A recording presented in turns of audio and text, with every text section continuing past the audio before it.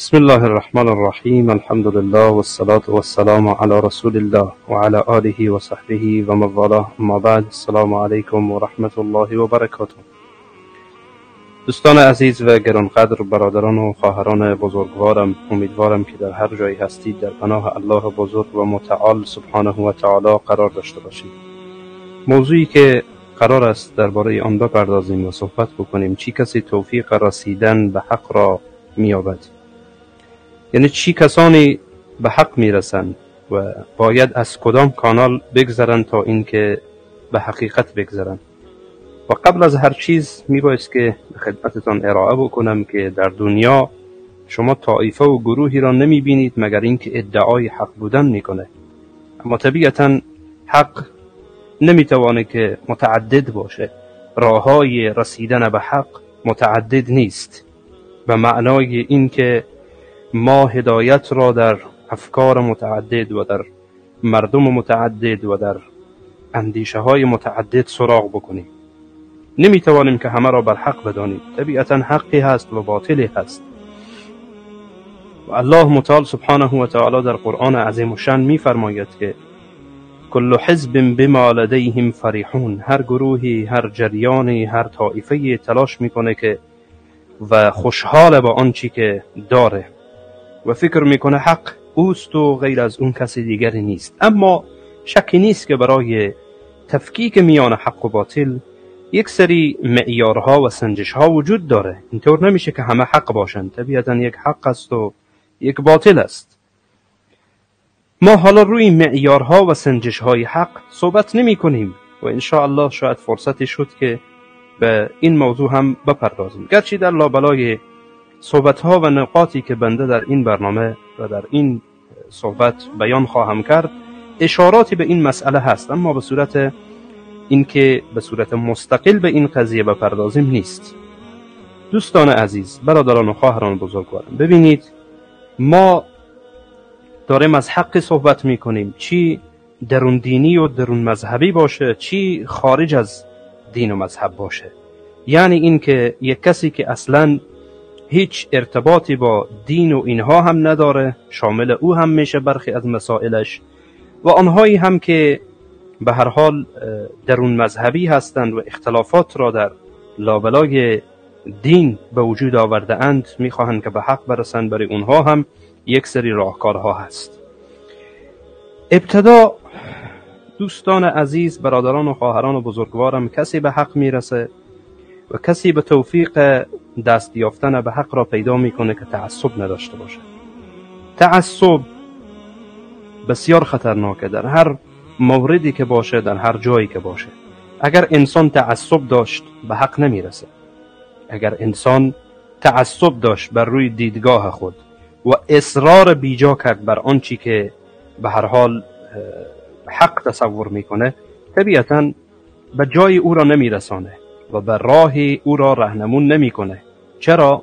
چون که تعصب داره. انسانی که تعصب داشته باشه چشمش کور میشه گوشش کر میشه و زبانش لال و گنگ میشه. انسانی که تعصب داشته باشه. به هر جریان و به هر گروه و به هر دین و به هر تباری که وابسته باشه اگر تعصب داشت این تعصب مانع رسیدن او به حق میشه. باعث میشه که به حق نرسه به حقیقت نرسه و حقیقت را درست درک نکنه. انسان متعصب خوب را بد فکر می‌کنه و بد را خوب فکر می‌کنه. یعنی آنچی که موافق میلش باشه آنچی که موافق گروه و جریانش باشه آن را حق فکر می‌کنه و آنچی که مخالف آن باشه باطل فکر می‌کنه. و این تعصب باعث میشه که اندیشه نکنه. این تعصب باعث میشه که حق را نشنوه و اگر بشنوه با دید نقد و با دید تمسخر میشنوه. نه با دید حقیقت و نه با دید این که دنبال حق باشه. یعنی حق جویانه حرف حق را نمیشنوه بلکه متاسفانه به دنبال اینه که راهی برای نجات خود پیدا بکنه. راهی برای این پیدا بکنه که چطور بتوانه همین دیدگاه و همین نظری که داره آن را به کرسی بنشانه. حالا از طریق حق باشه از طریق درست باشه و از طریق بد باشه و از طریق نادرست باشه. اولین را تعصبه. این تعصب مانع رسیدن انسان به حق میشه و اگر انسان خواسته باشه و واقعا خواهان رسیدن به حق باشه باید تعصب را از سر راه خود برداره. این یک. دومین قضیه تکبر و غرور هست. تکبر و غرور را باید از سر راه خود برداره اگر می‌خواه که به حقیقت برسه. انسان متکبر انسان مغرور نمی‌تونه به حق برسه. تکبری که شیطان را از درگاه الله متعال سبحانه و تعالی راند. الله برایش گفت که به این مخلوقی که من آفریده ام حالا به طور تکریم و احترام سجده بکن. حالا یا بر من سجده بکن به حضور آدم حالا با اختلافی که وجود داره. ولی شیطان سرباز زد و الله متعال میگه ابا و استکبر تکبر ورزید غرور ورزید. فرعون تکبر ورزید به حق نرسید. معجزات واضح و آشکار موسی علیه السلام را دید اما به حق نرسید. ابو جهل تمام معجزات را به چشم سر مشاهده می‌کرد اما تکبر و غرورش برایش اجازه نمی‌داد که از محمد صلی الله علیه و سلم پیروی بکنه. و در طول تاریخ این غرور و تکبر باعث شده که بسیاری از حقیقت دور بشن. انسانی که در او تکبر باشه یعنی تکبر این نیست که فقط یعنی فقط تکبر این نیست که انسان بینی خود بالا بگیره و به هر حال کسی توجه نکنه و به کسی متوجه نباشه. مسائل اخلاقی که مطرح میشه. بلکه غرور اینه که تو حق را نشنوی. اگر خلاف سخنت و خلاف کلامت و خلاف دیدگاهت چیزی ثابت شد باز هم پافشاری بکنی و اصرار بکنی به خاطر اینکه مبادا این غرور من و این شخصیت من زیر سوال بره. در حالی که انسانی که به حق اعتراف بکنه وقتی حق برایش ثابت بشه و اون اعتراف بکنه این برایش فضیلت این برایش فضیلت فضیحت نیست. انسان جاهل رجوع به حق را فضیحت و رسوایی فکر می‌کنه. اما انسان عاقل انسان هوشیار انسان دانشمند وقتی که حق برایش رسید با آن چیکار می‌کنه؟ با آن در جا سر فرود میاره و اعتراف می‌کنه به حق. شما ببینید شبیه این تعصب و مثال این تعصب و تکبر را در انسانهایی که ضد دینن به وضاحت واضح و آشکار مشاهده می‌کنید. وقتی حق برایش ثابت میشه خلاف دیدگاه غلطی که او داره برایش میگی ولی باز هم به همان راه باطل خود روانه.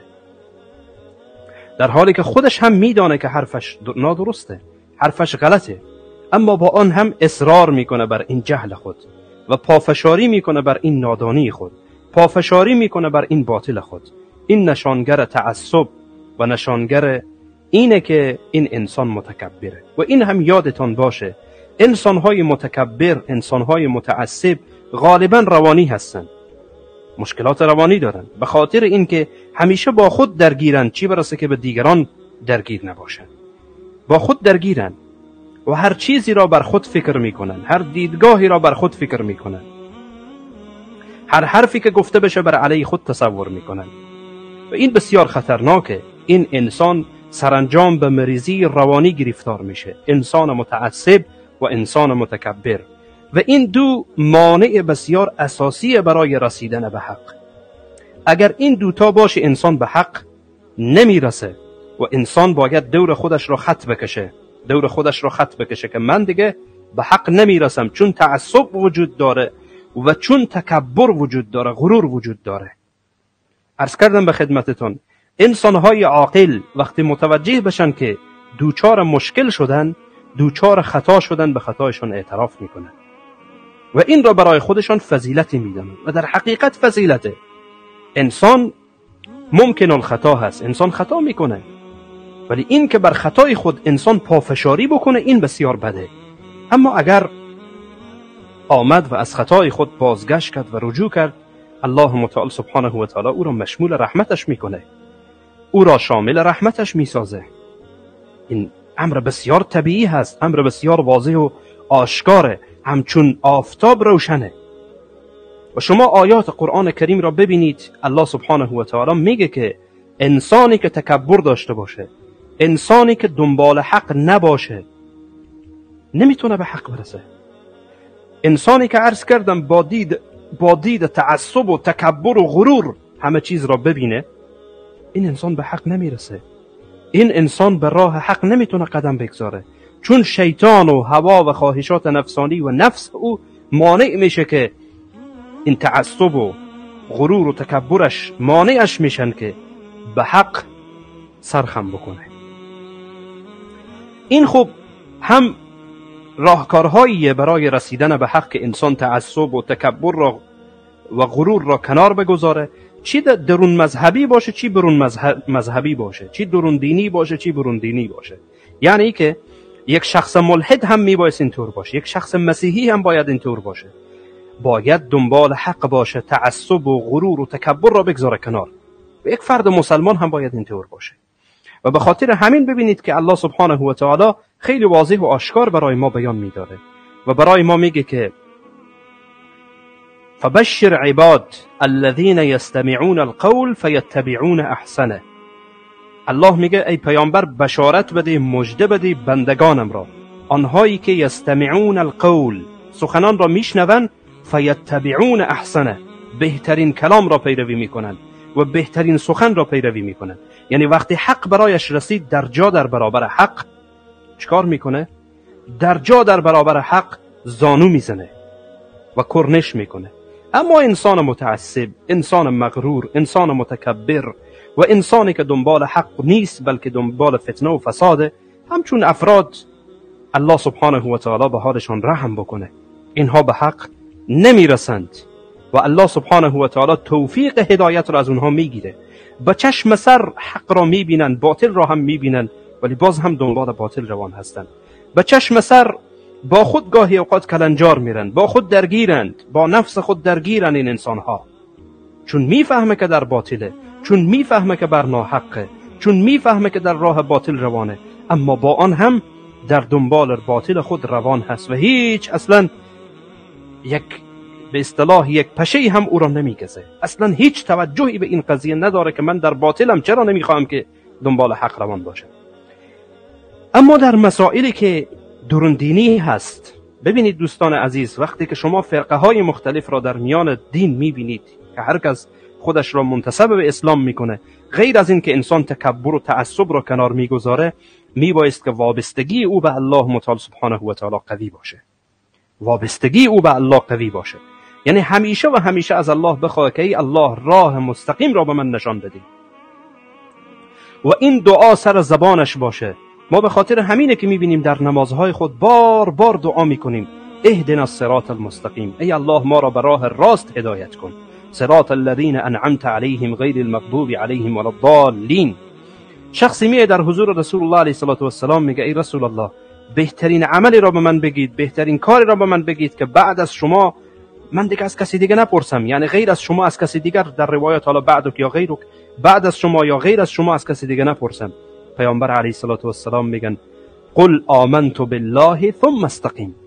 به الله ایمان آوردم بعد استقامت بکن در این راه. این استقامت اینه که انسان وابستگی خودش را به الله متعال حفظ بکنه. همیشه از الله بخواه که ای الله حق را برای من نشان بدی. ای الله حق را برای من حق نشان بدی و باطل را باطل نشان بدی. این بسیار مهمه.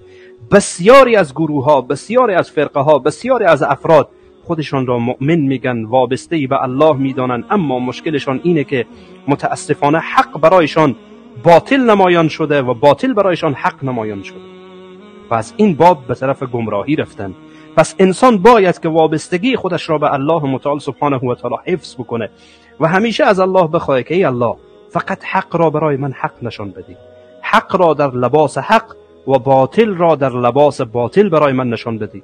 و ای الله من را از افتادن در باطل و از افتادن در گمراهی نجات بدی. اگر انسان این وابستگی خودش را به الله متعال حفظ کرد یقینا که می‌تونه ان الله به حق برسه و می‌تونه که ان الله الله او را کمک خواهد کرد که راه حق را پیدا بکنه و الله سبحانه و تعالی حق را برایش نشان خواهد داد. همچنان که ما در برخی از آیات قرآن کریم داریم که الله سبحانه و تعالی این مسئله را برای ما بیان می‌کنه که اگر شما تقوای الهی را پیش بکنید الله سبحانه و تعالی یجعل لكم فرقانا. الله برای شما فرقان قرار میده. یعنی چی؟ یعنی وسیله قرار میده که شما در میان حق و باطل بتوانید تفکیک کنید. بتوانید حق و باطل را از هم جدا, جدا بسازید. و این همان وابستگی به الله این همان تقوا و پرهیزگاریه. این همان رسیدن به الله متعال سبحانه و تعالی است. و اگر غیر از این باشه انسان به گمراهی میره انسان به تباهی میره انسان به بربادی میره. اگر غیر از این باشه.